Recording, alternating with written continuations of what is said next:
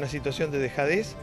Eh, no se lo achaco al comisario que hace lo que puede, porque los medios vienen de la provincia y la, policía depende de la provincia.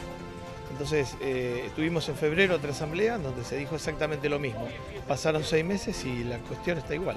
La inseguridad es peor, los robos se acrecientan, además de la zona roja, que eso es otra, otra cuestión, ¿no? porque el barrio es muy grande, no solo aplica a la, zona roja. El proyecto que estaba originario, del cual se juntaron firmas y tomó el Ejecutivo Municipal junto con el Ejecutivo de la provincia, era trasladarlo en la calle 120 en el bosque, atrás del zoológico. Hay baños ahí, se iban a agregar otros baños químicos y se iba a hacer al estilo Rosedal, un traslado de, gente que ingrese para el consumo de, la prostitución callejera, de la prostitución trans, y que estén controladas eh, con carpas sanitarias. Eh, nosotros veníamos hace tres semanas que no hacíamos eh, caravana eh, y lo que hemos visto es que empezaron nuevamente a haber atracos. Nos llama la atención sobre la 127, que es una zona muy concurrida y muy custodiada. Este, y en los últimos dos o tres, cuatro días hemos tenido tres, cuatro asaltos en varios de los negocios. No, no, estamos viendo tanto la policía como se veía antes, volvimos a pedir que pusieran caminantes porque los habían sacado, volvimos a reclamar el tema del patrullaje para que haya más vehículos, no, no hay, no hay. Este, nos dijeron que habían puesto 60 vehículos, pero quisieron reemplazar 60 vehículos. Y es una de las hipótesis, pero yo no creo que sea así. Eh, porque la variante Manaus o Gamma en otros países que, se había instalado en Europa fue desplazada muy rápidamente por Delta. Hoy hay muchos países donde el 90-95% de las muestras o de los pacientes infectados tienen Delta y desplazó a la británica, a la sudafricana y a la Manaus. Por lo cual yo no creo que esa sea una hipótesis que permita explicar por qué todavía en Argentina no hay una diseminación masiva de esta variante. Yo creo que eso tiene que ver por la vacunación, por un lado, y fíjense que no estamos hablando de un 70% de personas con las dos dosis, como en estos otros países, pero también tiene mucho que ver las medidas de protección que se están tomando. Esta situación preocupa claramente Sí es cierto que va de la mano con, el aumento de la vacunación, este, con esta nueva llegada de vacunas registrada en estos días. y también eh, esto explica por qué desde la nación y desde la provincia se hacía tanto hincapié en el seguimiento de, cada uno de las personas que llegaban de, de viajes del exterior, ¿no? Porque bueno, en algún momento eh, esto se iba, iba a empezar, va a empezar a tener una, presentación comunitaria, una, una presentación más marcada. Y bueno, de ahí que una de las indicaciones siempre fue sostener todas las medidas de cuidado, este, las medidas preventivas, sostener lo que tiene que ver con eh, em, el diagnóstico temprano, la consulta temprana ante la presencia de síntomas. Una, un chico malo se quiso meter dentro de la casa. ¿Intentó subirse por el balcón? Sí, no, que subió arriba. De ahí lo que pasa es que aparentemente la chica que vive ahí este, lo empujó y cayó. En esta vivienda de 126 y 64, en el barrio Villargüello de Berizo, se produjo un incidente con un ladrón que terminó escapando. ¿Por qué? Porque trepó hasta el balcón. Lo observó la persona que vive en este lugar, lo empujó al vacío y posteriormente se dio a la fuga.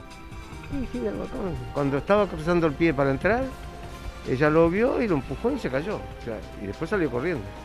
¿Cómo hizo? No sé. ¿La chica vive sola acá en la casa? Sí, sí, es una inquilina nuestra, una estudiante. Eh, yo no sé, pero pienso que tendrían que darle una salida a todo esto porque... ¿Es una zona insegura? Es insegura, sí calle 612 entre 117 y 118. Los vecinos que viven en esta zona se autodenominan olvidados porque no tienen luz, porque tienen un servicio deficiente, porque no tienen agua, porque las calles son un desastre. Hace 11 años que piden a las empresas, a EDELAP fundamentalmente, que brinde el servicio, que les cobren el servicio, pero que tengan luz, algo que por el momento no tienen transformadores, medidores en cada uno de los domicilios, el servicio de agua, el arreglo de las calles. Ellos están cansados, se sienten olvidados. Teníamos muchos problemas, inclusive en este momento hay corte de luz y de agua y estamos cansados, hermano. La verdad estamos cansados y le queremos hacer este comunicado a la gente de la que por favor puede acercarse a este barrio porque hace 11 años que está.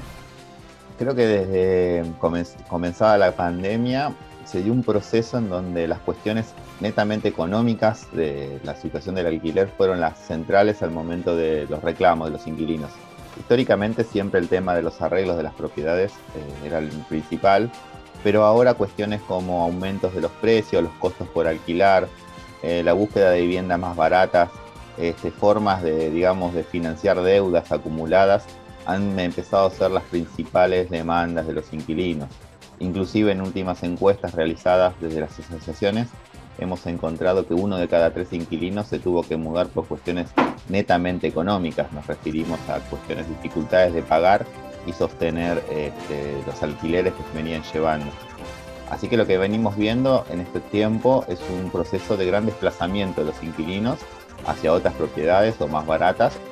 Pasa el tiempo y cada vez son más las denuncias de vecinos de distintos barrios de la ciudad de La Plata, del propio casco urbano, de pleno centro de la ciudad de La Plata, nos denuncian que hay falta de presión de agua, que pasan días sin una gota de agua.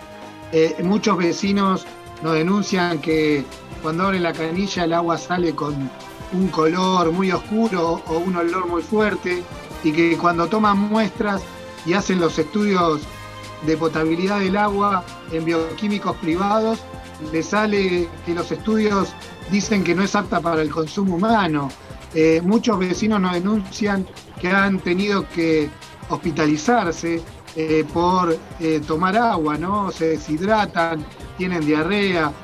algunos han estado internados en hospitales o clínicas de la ciudad, sobre todo adultos mayores, niños, Estamos en jefatura distrital, hoy nos movilizamos desde Suteo de Ensenada, hicimos una movilización muy importante con más de un centenar de, compañeros trabajadores de la educación para plantear los reclamos que se vienen manifestando en asambleas y en cuerpos delegados permanentemente y cotidianamente en las escuelas que tienen que ver fundamentalmente con la falta de trabajo, con el nivel de precarización y de desocupación alarmante que hay entre los trabajadores de la educación eh, para lo cual estamos eh, reclamando la creación de cargos de parejas pedagógicas y la realización de actos públicos presenciales para garantizar la transparencia y el acceso al trabajo eh, de todos los compañeros y compañeras. A su vez, reclamamos obras, reclamamos medidores de dióxido de carbono para todas las aulas del distrito y la realización de jornadas institucionales promovidas por la propia inspección para que todos los compañeros de las escuelas discutan de forma democrática la organización institucional en tiempos de pandemia, que es muy importante. Se planteó eh, que a principio de año nos habíamos puesto de acuerdo en que, este año debíamos empezar a recomponer el salario, por lo cual debíamos estar por encima de lo que, lo que dieran los índices inflacionarios, eh, con lo que el Estado está de acuerdo, así que eh, la semana que viene nos traerían una propuesta por ejemplo, nosotros estamos completamente de acuerdo en esta, en esta suerte de, ordenamiento que está haciendo el Estado con, la mayoría de los organismos en una bonificación única del 125% y de un régimen horario de 40 horas. Este, continuar con eso. Nosotros estamos de acuerdo y queremos continuar con la mayoría de los organismos. Estamos planteando, obviamente, la necesidad de una, eh, bonificación para el sector auxiliar en educación, que están muy relegados que por su situación de que no pueden eh, trabajar 40 horas por su trabajo, digo, sabemos que los turnos en los colegios son de 6 horas, este, habría que crear una bonificación específica para el sector. Y también el sector de informática, eh, que, cobran, depende del organismo donde se trabaja, cobran distinto y realizando la misma tarea. Eso es una, una cuestión a, ordenar y, y bueno, estamos pidiendo una mesa para eso.